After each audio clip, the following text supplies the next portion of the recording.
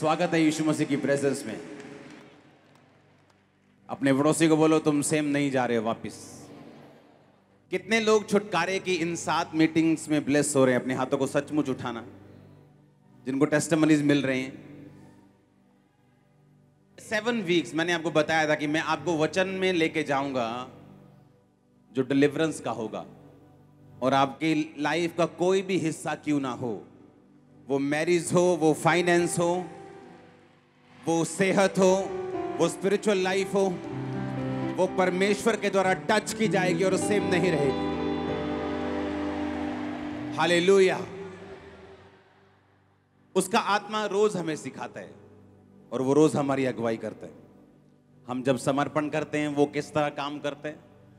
जब हम अपना समर्पण कम करते हैं, वो किस तरह से काम करते हैं? वो रोज आपको सिखाता है और उसका वचन आपकी हेल्प करेगा आज। जिन्होंने बपतिस्मा नहीं लिया, आज वो बपतिस्मा लेके जाएँगे वापस। क्योंकि अगले थर्सडे प्रभु भोज है और मैं चाहता हूँ कि आपके पूरे परिवार, आप लोग सब शामिल हों। परमेश्वर ने कहा था कि जब तुम मूसा को कहा, जब तुम मेमने को खाना तो फुर्ती से खाना, लाठी लिए हुए, जूती पहने हुए तैयार होकर उस मेमने को खाना। आप जब अपने घरों में हम लंच डिनर करते हैं तो हम आराम से बेल्ट ढीली करके करते हैं। कस के नहीं करते, कोट पैंट डालकर डिनर नहीं करते हम। हाँ या ना? लेकिन उसने कहा कि कमर बाँध कर और और जूती पहनकर और हाथ में डंडा लिए हुए तुम खाना। क्योंकि जैसे ही तुम मेमना खाओगे, मैं तुम्हें आज़ाद कर दूँगा। पुराने नियम में जो भी हुआ है ना, वो हमेशा एक एक प्रतिबिंब रहा है, एक एग्ज़ाम्पल रही है। और नए नियम में जब हम उसी मेमने को प्रभु भोज के रूप में, रोटी के रूप में खाते हैं, हमें यह मालूम होता है कि हमें बिल्कुल तैयारी के साथ खाना है, क्योंकि गुड न्यूज़ आपका वेट कर रही है उसके बाद। हमें लगता है कि हम एक ईसाइयों वाला, एक एक रीति रिवाज पूरा कर रहे हैं कि यीशु मसीह ने कहा था, मेरे आने के समय तक मेरी मौत को याद करके इसी तरह किया करना, रोटी लेना और उसको मेरी देह बोलना और जूस लेकर उसको मेरा लहू बोलना। हमें लगता है हम उसको जूस बोल रहे हैं, उसको रोटी बोल रहे हैं, लेकिन वो जूस और रोटी नहीं है। वो वास्तव में उसका शरीर और वास्तव में उसका लहू है, बाइबल कहती है। और बाइबल कहती है, जो कुछ आप खाते हैं, किसी के व्यक्ति के ब्लड के सैंपल को अगर आप लेंगे तो उसके ब्लड से सब कुछ आ जाता है कि ये चिकन ज़्यादा खाता है, या सब्ज़ियाँ ज़्यादा खाता है। ये बंदा इसमें ये चीज़ की कमी है, इसमें ये चीज़ की बहुतायत है। डॉक्टर बोलते हैं, तेरे में यूरिक एसिड बढ़ गया चिकन कम कर दो, अंडे कम कर दो, दाल कम कर दो, तुम ज़्यादा खाते हो।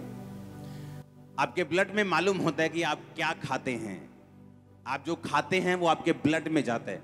जब आप जीसस क्राइस्ट को खाते हैं, वो भी आपके ब्लड में जाता है।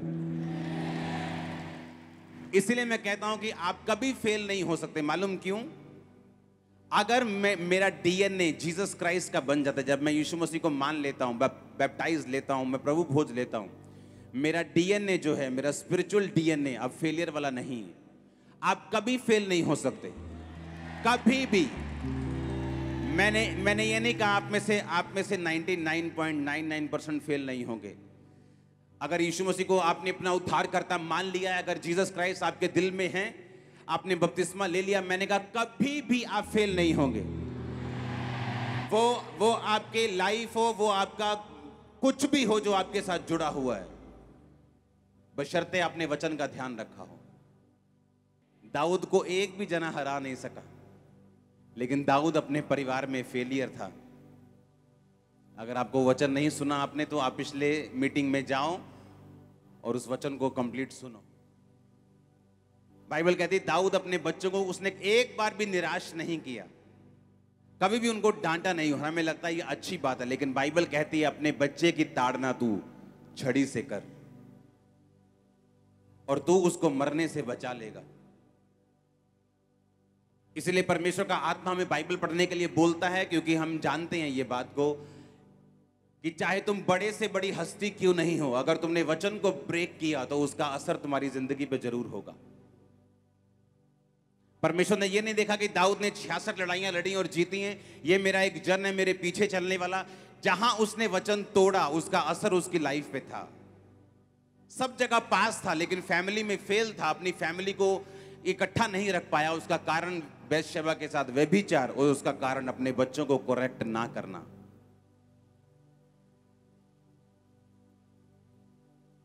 एक एक बिंदु बाइबल का सच है।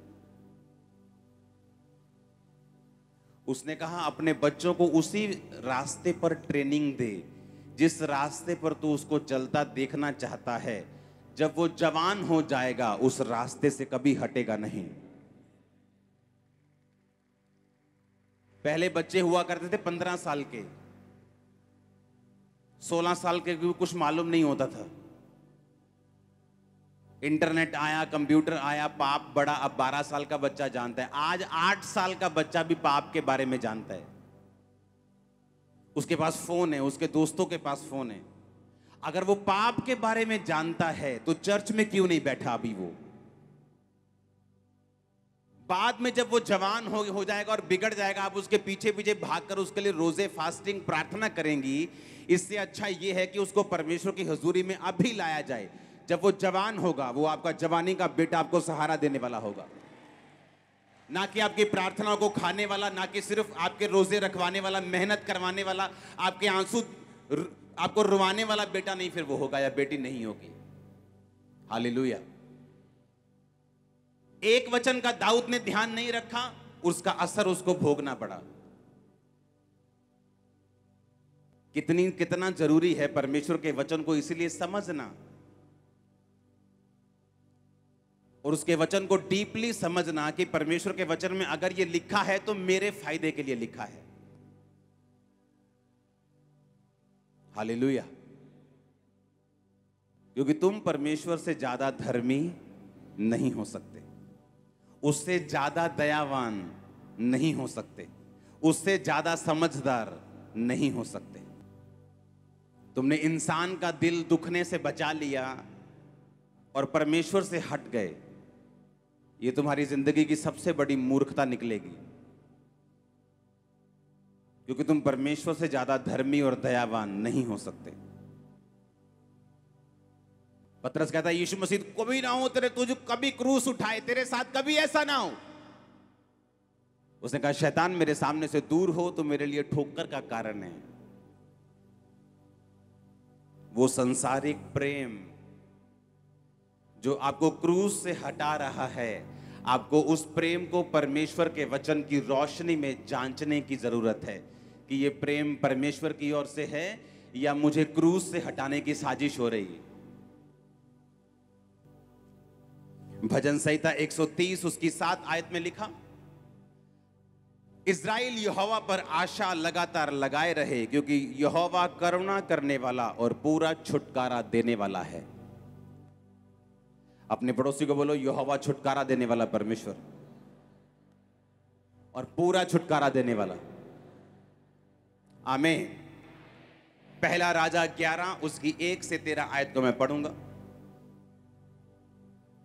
परंतु राजा सुलेमान फिरौन की बेटी और बहुतेरी और विजातीय अन्य जाति स्त्रियों से, जो मुआबी अमोनी एदोमी, सिदोनी, हित्ती थी, उनसे प्यार करने लगा। वे उन जातियों की थी जिनके विषय में यहोवा ने इसराइलियों से कहा था कि तुम उनके मध्य में ना जाना और ना वे तुम्हारे मध्य में आने पाए। वे तुम्हारा मन अपने देवताओं की ओर निस्संदेह फेरेंगी और उन्हीं की प्रीति में सुलेमान लिप्त हो गया।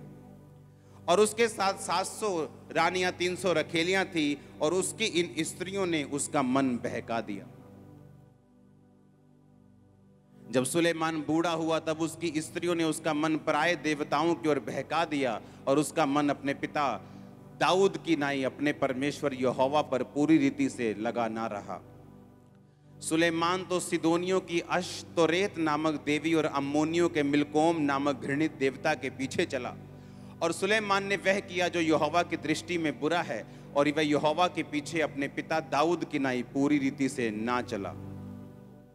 उन दिनों सुलेमान ने यरूशलेम के सामने के पहाड़ पर मुआबियों के कमोश नामक देवता के लिए के लिए और अमोनियों के मलेक नामक घृणित देवता के लिए एक एक ऊँचा स्थान बनवाया। और अपनी अपनी सब अन्य जाति स्त्रियों के लिए भी जो अपने अपने देवताओं को धूप जलाती और बलिदान करती थी, उसने ऐसा ही किया। तब यहोवा ने सुलेमान पर क्रोध किया और उसका मन इज़राइल के परमेश्वर यहोवा से फिर गया था, जिसने उसको दो बार दर्शन दिया था।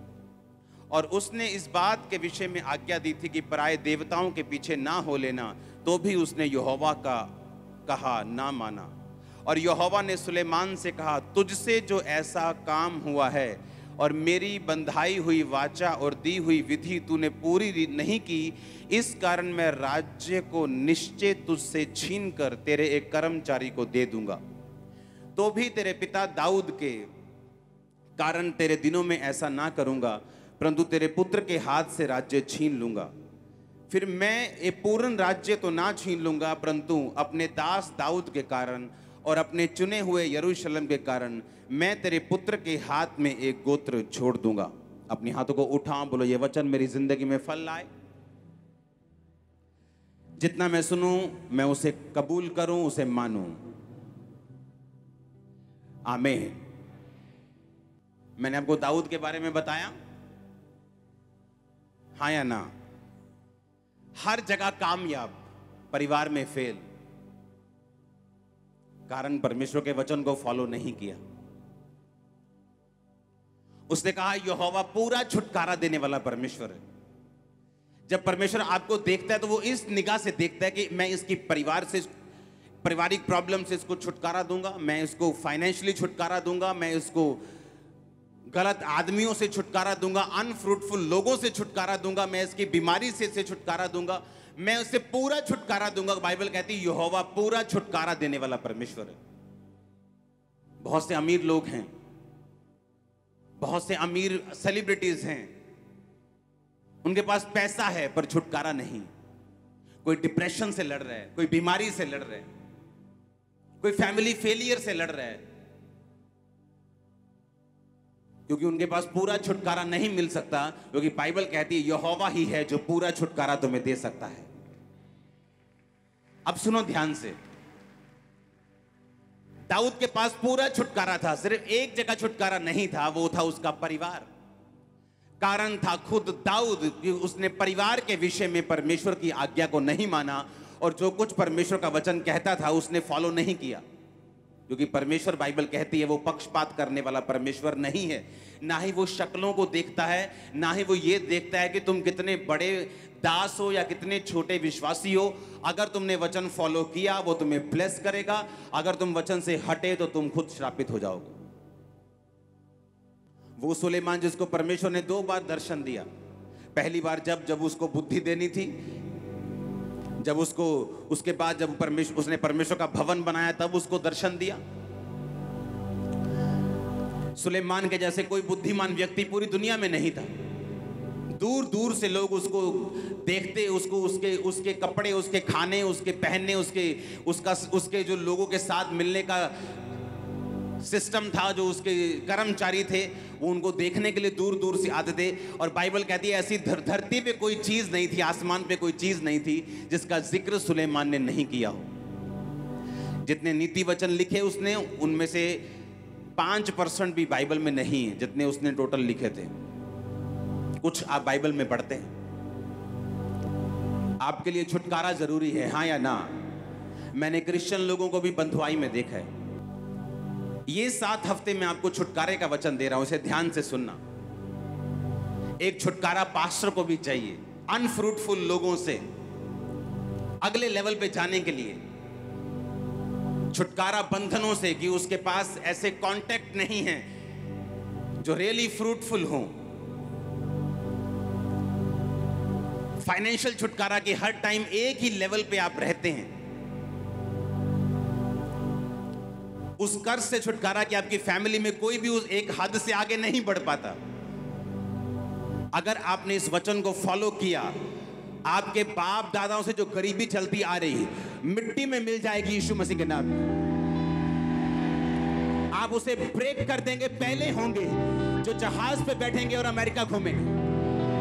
मैं आपको सच कह रहा हूँ, मैं आपको सच कह रहा हूँ। आप फ़र्स्ट होंगे जो वो चीज़ें पाए करेंगे जो आपकी फैमिली ने नहीं की। मैं आपको सच कह रहा हूँ, अगर आपने ये वचन को ध्यान से सुना, आपके बच्चे, आपके रिश्तेदारों के बच्चों से कहीं उत्तम होंगे। अगर, सुनो मेरी बात बात वचन की है।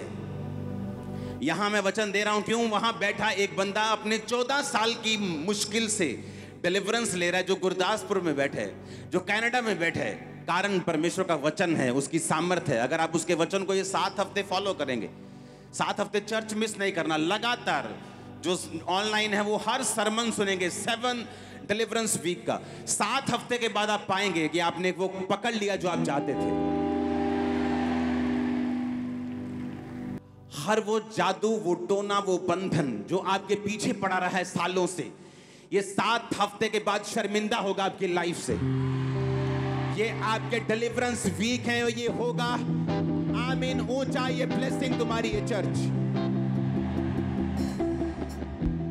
तुम धीरे धीरे अपनी मिनिस्ट्री को नहीं बनाओगे। तुम फास्ट बनाओगे अभी से यीशु के नाम में तुम धीरे धीरे अपने घर को नहीं बनाओगे। तुम जल्दी से बनाओगे यीशु मसीह के नाम में। हालेलुया इस इस डिलीवरेंस के वचन को अंदर समा लेना। पहले हफ़्ते का वचन क्या था? दूसरे हफ़्ते का क्या था? संडे का शाम का क्या था? थर्सडे क्या था? उसे लिखना लिखे बिना इस वचन को नहीं जाना। मैंने अपनी लाइफ में नोटिस किया है जिनकी ज़िंदगी में परमेश्वर यहोवा के अलावा दूसरा परमेश्वर है वो कभी भी डिलीवरेंस पूरा छुटकारा हासिल नहीं करते अपनी लाइफ में। वो चालीस रोज़े छोड़ दे वो चार सौ रोजा रख लें तब भी, भी डिलीवरेंस नहीं होगी। वो आठ सौ रोज़े रख लें। नंगे पैर जाएँ, अपना सब कुछ दे दें, तब भी उनकी डिलीवरेंस नहीं होगी। परमेश्वर ने कहा, तू अन्य जाति की औरत में शादी मत करना, ऐसा ना हो कि वो अपना मन, तेरा मन अपने देवताओं की ओर तुझे बहका दे। सुलेमान जो हर तरफ़ से कामयाब व्यक्ति था क्योंकि उसके पिता ने उसके लिए लड़ाइयाँ लड़ी थी और जब उसको राज्य मिला, वो बड़ा स्थिर राज्य था। और बाइबल कहती, सुलेमान ने सिर्फ़ ग्रोथ की, क्योंकि फाइट नहीं थी उसकी लाइफ में। सिर्फ़ ग्रोथ ग्रोथ, बढ़ता गया, इधर से टैक्स आ रहा है, उधर से टैक्स आ रहा है। ये राजे के साथ संधि हो रही, उस राज्य के साथ संधि हो रही, वो सोना भेज रहे हैं, वो इतने टन सोना लेके आ रहा है। अगर आप बाइबल पढ़ेंगे, ध्यान से, सुलेमान हर टाइम, जिस तरह दुबई है आज, हर तरफ़ से पैसा आ रहा है, प्रॉपर्टी से पैसा आ रहा है। इधर से पैसा, उधर से पैसा। इस वो सुलेमान उससे कहीं अधिक ऊपर था और हर तरफ़ से ब्लेस था।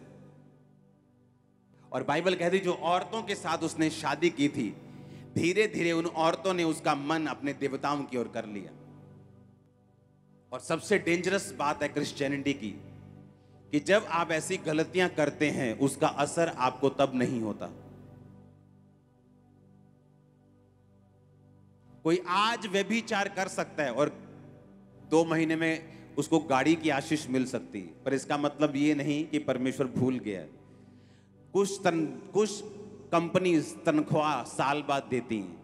कुछ पाप का असर सेम डे होता है। कुछ पाप का असर छह महीने में होता है। कुछ पाप का असर साल में होता है। कुछ पाप का असर दस साल में होता है। जिन लोगों ने यीशु मसीह को क्रूस पे चढ़ाया, परमेश्वर ने कहा मेरे लिए नहीं, अपने और अपने बालकों के लिए रो। पता क्या हुआ? यीशु मसीह के क्रूज पे चढ़ने के कुछ साल बाद उस जगह पे अटैक किया गया, परमेश्वर का भवन तोड़ दिया गया, उन सब लोगों को बंधु बना लिया गया था। वो क्रूज पे चढ़ाने का असर एकदम से उनको सजा नहीं मिली। मिली, उनके बच्चों तक ने वो सजा भोगी, क्योंकि कुछ पापों का असर एकदम से नहीं होता। और इसलिए यूथ जो है वो मिसअंडरस्टैंड कर लेता है इस चीज़ को कि मैं तो मेरी तो बॉयफ्रेंड को परमिशन ने अलाउ कर दिया। देखो, मेरा बॉयफ्रेंड है गर्लफ्रेंड है। ये देखो, खुदा ने मुझे ब्लेसिंग दी है। मेरी जॉब में प्रमोशन हो गई। धीरे धीरे सुलेमान का मन बहका। एकदम से नहीं धीरे धीरे धीरे धीरे धीरे धीरे धीरे धीरे पहले धीरे धीरे वो लेके गई होगी। पहले धीरे धीरे कुछ खिलाया होगा। नहीं नहीं, मैं तो युवा को मत ये खाला थोड़ा जा, कोई नहीं। मेरे नाल चलती बाहर भेजी तू जैसे ऑटो वाले बाहर नहीं बैठते यहाँ आके। पहले बाहर बैठते हैं, फिर थोड़ा आगे आते हैं, फिर यहाँ बैठते हैं, फिर यहाँ आ जाते हैं। पहले छोड़ने आए थे, फिर लगा कि यार देख, आते तो है ही देखते ले क्या बोलता क्या ये बंदा, देख सुन तो ले। फिर बाहर से सुनना शुरू किया। तो गलत है, ठीक है यार। फिर अंदर आए, फिर आगे आ गए। और कभी स्टेज पे भी पहुँच जाओगे। हालेलुया। आप समझ रहे मेरी बात को कि नहीं? धीरे धीरे उन्होंने उसने उन्होंने उसका मन अन्य देवताओं की ओर फेर दिया। तुम्हें डर लगता है क्योंकि तुम लोगों को नाराज़ नहीं करना चाहते। मुझे न्योते आते जहाँ बहुत सारे ऐसे लोग होते हैं जहाँ पे मुझे मुझे आने का न्योता मिलता है। मैं उनको यही बात बोलता हूँ कि अगर मैं अपने परमेश्वर के साथ वफादार नहीं हूँ, मैं इंसान के साथ कैसे हो सकता हूँ? मेरा एक ही परमेश्वर है। मैं आपको प्यार करता हूँ लेकिन मेरा बिलीव सिर्फ़ यीशु मसीह के ऊपर है और रहेगा। मेरा सिर उसी के सामने झुकता है और झुकेगा। दैट्स इट क्योंकि यहोवा पूरा छुटकारा देने वाला परमेश्वर है। मुझे लोगों को खुश नहीं करना है कि मैं परमेश्वर को नाराज़ कर लूँ और लोगों को खुश कर लूँ। प्रेम का संदेश दूँ। ऐसा प्रेम बाइबल में लिखा है, ये शैतानी और शारीरिक है। वो प्रेम जो परमेश्वर से उपजता है, वही असली प्रेम है। वो प्रेम हमें दूसरों की निंदा करने के लिए नहीं कहता। मेरा जो विश्वास है, मैं उसमें खुश हूँ। आपका जो विश्वास है, आप खुश रहिए। मुझे आपसे कोई जलसी नहीं, कोई वैर नहीं, कोई कोई विरोधता नहीं, लेकिन मैं अपने विश्वास में खुश था और रहूँगा। मैंने क्रिश्चियन देखे, दोनों साइड चलते। सारा साल वो क्रिश्चियन है। जब तक उनका मेला ना आ जाए, साल में एक बार जो आता है। उस मेले में वो ऐसे घूम रहे होते हैं जैसे किसी ने चाबी दे के छोड़ा होता है। पूरा हाई एक्साइटेड और भूल जाते कि यहोवा पूरा छुटकारा देने वाला परमेश्वर है। अगर वो ज़िंदगी में नहीं होगा तो उसके बाद फिर पूरा छुटकारा नहीं होगा। तुम रोज़े रख लो, तुम चर्च चले जाओ, तुम सेवा कर लो, तुम बाल्टियाँ उठा लो, तुम मिट्टी उठा लो, कुछ भी कर लो। परमेश्वर ने कहा, इसलिए मैंने तुमसे कहा कि तुम अन्य जातियों में शादी मत करना। ऐसा ना हो कि वो अपना मन, तेरा मन अपने देवताओं की ओर फेर दें। और बाइबल कहती, सुलेमान ने यही गलती की। जीवन में कामयाब रहा कोई लड़ाई नहीं हारा, थोड़ी बहुत लड़ाइयाँ लड़ी। ग्रोथ की, परमेश्वर का भवन बनाया, उसने बड़े बड़े काम किए। पूरी दुनिया में उसकी कीर्ति फैली, पूरी दुनिया से लोग उसको मिलने के लिए आते थे। लेकिन जहाँ उसने परमेश्वर का वचन तोड़ा, परमेश्वर ने कहा, अब मैं ये राज्य तुझसे छीन कर एक लोएस्ट बंदे को दे दूँगा। तुझे तुझे ताकि ज्ञात हो जाए, तुझे ये मालूम हो जाए कि यहोवा ही पूरा छुटकारा देने वाला परमेश्वर है। अब मैं तुझसे बारह गोत्र नहीं छीनूँगा, क्योंकि मैंने दाऊद से वायदा किया था कि मैं तेरे एक निज वंश को गद्दी पे हमेशा बिठा के रखूँगा। इसलिए ग्यारह गोत्र मैं तुझसे ले लूँगा, बारह ग्यारह हिस्से ले लूँगा और छोटा सा हिस्सा तेरे पास छोड़ दूँगा, ताकि मैं दाऊद के साथ किए वायदे को भी पूरा कर सकूँ। लेकिन मैं तुझे ये इतनी ब्लेसिंग में रहने नहीं दूँगा, क्योंकि तूने मेरे वचन को तोड़ा है। इसके लिए प्रैक्टिस करनी पड़ती है आपको। ना ना ना बोलना पड़ता है कितनी बार। कई बार लोगों के गुस्से का सामना करना पड़ता है आपको। कई बार आपको लोगों को नाराज़ करना पड़ता है, लेकिन मैंने ये किया है और आज मैं ब्लेस्ड हूँ संपूर्ण छुटकारे में। आप भी हो जाए। आमे मुझे एक बात मालूम है, छुटकारा परमेश्वर की ओर से। वही छुटकारा दे सकता है कंप्लीट छुटकारा वही दे सकता है। जो आपकी लाइफ में आपकी बॉडी को चाहिए, आपके सिस्टम को चाहिए। आपके माइंड को चाहिए, आपके बॉडी को, आपके फाइनेंस को, आपकी फैमिली को, आपके मैरिज लाइफ को। जो डिलीवरेंस चाहिए वो परमेश्वर दे सकता है। और मैं आपको सात हफ़्ते ये डिलीवरेंस कैसे होती है बताता रहूँगा। आपकी लाइफ में एक ही परमेश्वर होना चाहिए। सामने कितनी बड़ी भी ओपोजिशन क्यों ना हो, उनको देखकर आपका वचन बदलना नहीं चाहिए, बल्कि और सख्त हो जाना चाहिए। हमारा एक ही परमेश्वर था। है और रहेगा। और उसी को प्रीच करते थे, हैं और रहेंगे। आमीन। क्योंकि यहोवा पूरा छुटकारा देने वाला परमेश्वर है। जब मेरा छुटकारा यहोवा से है तो मुझे इंसान का डर नहीं होना चाहिए। अगर मुझे मालूम है कि परमेश्वर के वचन को अगर मैं तोड़ूँगा, मैंने कितनी भी प्रार्थनाएँ क्यों ना की हूँ मैंने कितनी भी टाइट क्यों ना दी हो, कितनी भी मेहनत क्यों ना की हो, उसका असर मेरी लाइफ पे होगा अगर मैं वचन को तोड़ूँगा तो। दाऊद उसकी एक एग्ज़ाम्पल है, अब्राहम उसकी एक एग्ज़ाम्पल है, सुलेमान उसकी एक एग्ज़ाम्पल है। पतरस जो लंगड़े चलाने वाला, अंधों को दिखाने वाला, उसने भी जब अविश्वास किया तो बाइबल कहती, फिर से डूबने लगा और परमेश्वर ने कहा, हे अल्प विश्वासी तूने क्यों संदेह किया? एलिया जब प्रार्थना से भरपूर था, परमेश्वर के सामने रोज जाता था, राजा के सामने कहता, ए राजा, मेरे कहे बिना ना बारिश आएगी, ना औस पड़ेगी। जब प्रार्थना कम हुई तो एक लेडी ने जब मारी, दबका कि तेरा सिर तेरे धड़ से अलग कर दे, भागना पड़ा उसको। जो स्पिरिचुअल रूल्स हैं, वो आपकी शक्ल, आपका ओहदा नहीं देखते हैं। आपका पास्ट नहीं देखते हैं। आज आप परमेश्वर के वचन को मानेंगे, आप आज ब्लेस्ड होंगे। दैट्स इट जब मैं एक ऐसे भोज में, ऐसे लंगर में शामिल हो रहा हूँ, जो यहोवा का नहीं है तो इसका मतलब मैं भी मानता हूँ फिर कि आप जिसको मान रहे हैं, मैं उसमें शामिल हो रहा हूँ। तो परमेश्वर ने क्या कहा बाइबल में? तुम दो राज्यों में नहीं चल सकते। तुम अंधेरे और उजाले में एक समय पे नहीं हो सकते। या तो अंधेरा रहेगा तो या तो उजाला रहेगा। संसार से मित्रता करना, परमेश्वर से प्यार करने के बराबर उसने कहा। हालेलुया। अगर मुझे संपूर्ण छुटकारा चाहिए तो मुझे यह बात समझनी होगी कि मुझे परमेश्वर के वचन पे एग्जैक्ट चलना होगा, जिस तरह बाइबल कहती है। उसको मानने में, उसको फॉलो करने में मुझे स्ट्रेटजी बनानी पड़े, मुझे टाइम लगाना पड़े, मुझे अपने परिवार को समझाना पड़े, मुझे कुछ भी करना पड़े, लेकिन मैं उसके वचन को फॉलो करने के लिए मेहनत करूँगा,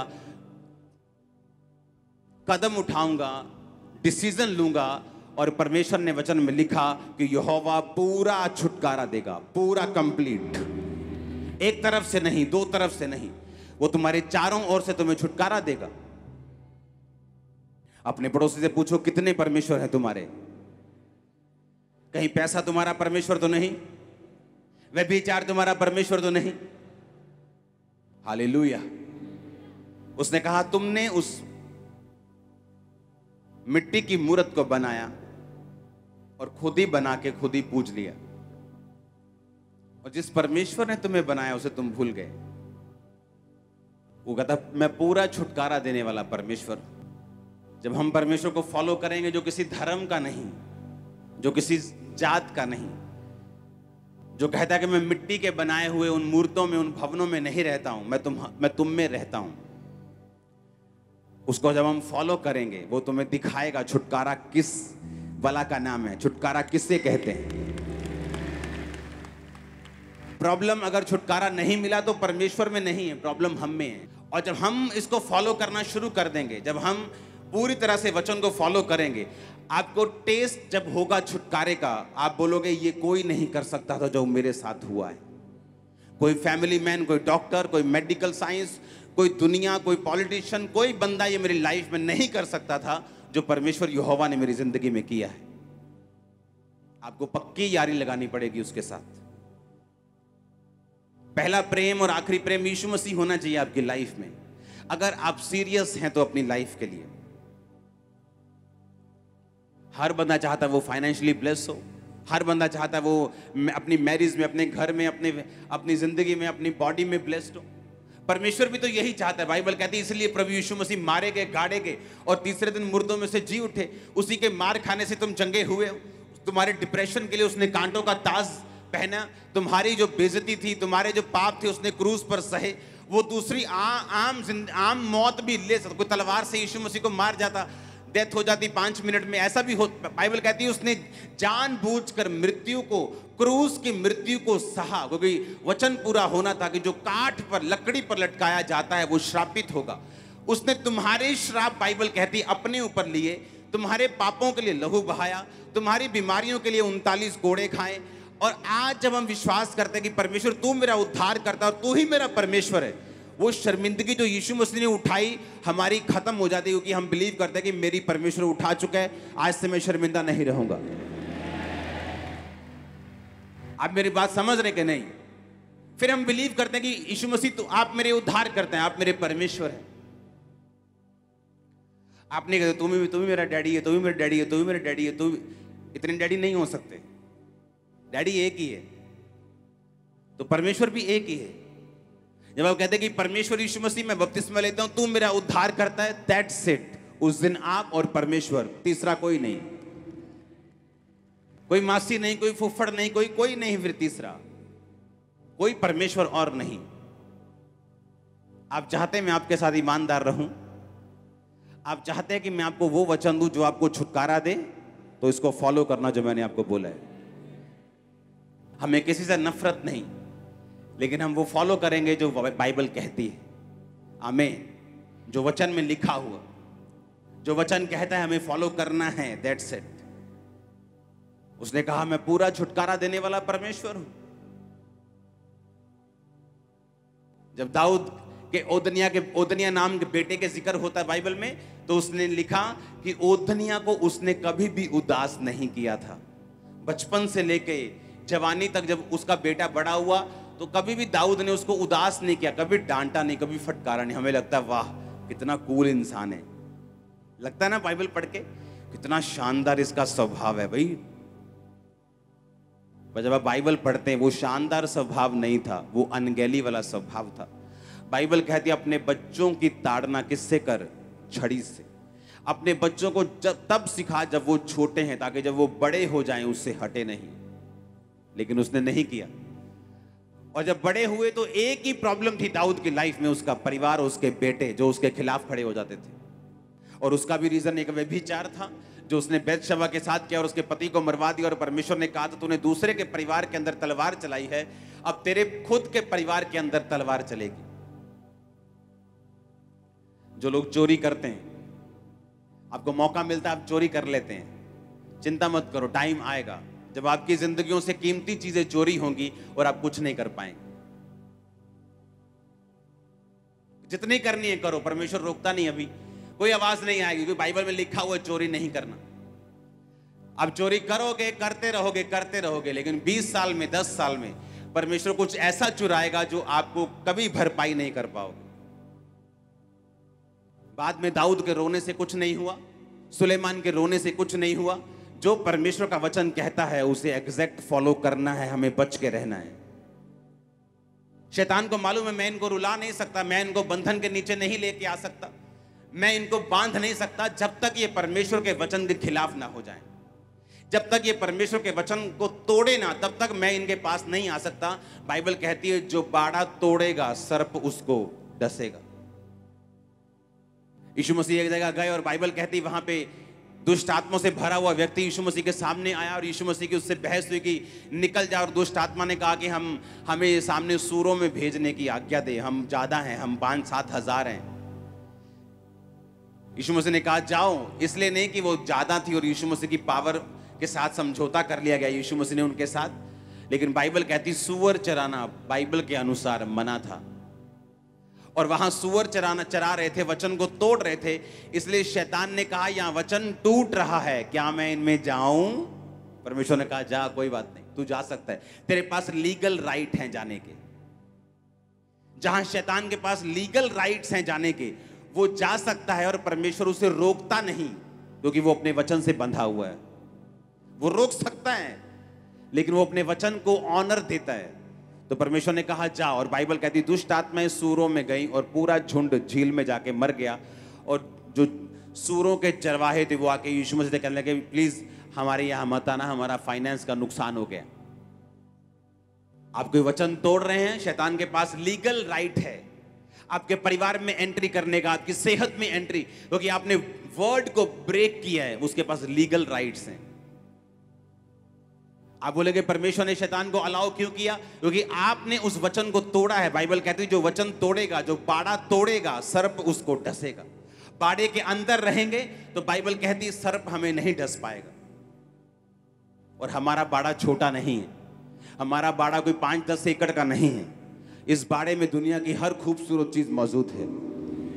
इस बाड़े में दुनिया की हर आशीष मौजूद है। इस बाड़े में परमेश्वर की दया, उसकी मर्सी मौजूद है। हमारा बाड़ा छोटा थोड़ी है। हमारे बाड़े में दुनिया की हर वो चीज़ है, जो दुनिया के बड़े बड़े लोग चाहते उन्हें मिलती नहीं, वो आपको मिलेगी वो। पॉलुस ने कहा, मैं पॉलुस प्रेरित जो परमेश्वर के सुसमाचार के लिए अलग किया गया हूँ। अलग किए जाने का मतलब है, मेरी बाउंड्रीज ठहराई गई हैं। आप क्रिश्चियन हैं? हाँ या ना? और अगर आपकी बाउंड्रीज नहीं है, आप क्रिश्चियन नहीं है। हर क्रिश्चियन की बाउंड्रीज हैं। एक चार दीवारी है उसकी, जहाँ से बाहर वो नहीं जा सकता अगर वो रियल क्रिश्चियन है तो। पर उस बाउंड्री के अंदर परमेश्वर आपको हर एक ब्लेसिंग देगा। आपको शांति देगा। आपको चंग्याई देगा। आपको पीस देगा। इतना पैसा वो आपको देगा कि आप पूरी दुनिया में उसका काम कर सको। उस बाउंड्री के वो अंदर है, बाहर नहीं। उसने कहा, मैं पॉलूस, जो परमेश्वर के सुसमाचार के लिए अलग अलग करने का मतलब यूनानी भाषा में है, उसको एक बाउंड्रीज के अंदर रख देना, एक चार दीवारी के अंदर रख देना। लेकिन वो चार दीवारी सिर्फ़ पाँच दस एकड़ की नहीं, वो अनलिमिटेड है, पर है वो अंदर ही, है वो बाउंड्रीज ही। कुछ चीज़ें हम नहीं कर सकते, कुछ जगहों पे हम नहीं जा सकते, कुछ काम हम नहीं कर सकते। परमेश्वर आपको ब्लेस करे। और वो आपको तोबा करने का मन दे। आज से आपका एक ही परमेश्वर हो। मैंने कहा, आज से आपका एक ही परमेश्वर हो। और वही परमेश्वर आपको छुटकारा दे। आमीन। जिस औरत के एक से ज़्यादा पति होते हैं, पहला बोलता है, दूसरा कर देगा, दूसरा बोलता है, पहला कर देगा। आपका एक ही परमेश्वर होना चाहिए। और वो जीवित होना चाहिए, जिसका नाम यहोवा है। जिसका नाम यीशु है, जिसका नाम जीसस क्राइस्ट। आमे है अपने हाथों को उठा, बोलो थैंक यू जीसस। आप मेरे परमेश्वर, आप मेरे उद्धार करता है। मैं विश्वास करता हूँ आप मेरे लिए मारे गए मैं विश्वास करता हूँ मेरे लिए गाड़े गए और तीसरे दिन मुर्दों में से जी उठे। मैं विश्वास करता हूँ कि आप यहाँ पे मौजूद हैं और मेरी प्रार्थना को सुन रहे हैं। मैं विश्वास करता हूँ, मैं विश्वास करती हूँ कि तू मेरा परमेश्वर, एकमात्र उद्धार करता मेरा सिर आज से सिर्फ़ तेरे आगे झुकेगा खुदावंत मैं तौबा करता हूँ, मैं तौबा करती हूँ। प्रभु यीशु मसीह के सामर्थ्य नाम में हम मांगते हैं। हमारे YouTube चैनल को सब्सक्राइब करें ताकि आप परमेश्वर के गहरे वेदों को जान सके कि कैसे आप परमेश्वर में बढ़ सकते हैं, कैसे आप दुष्ट आत्माओं से, नशों से, बीमारियों से और वंशों के श्रापों से आज़ाद हो सकते हैं।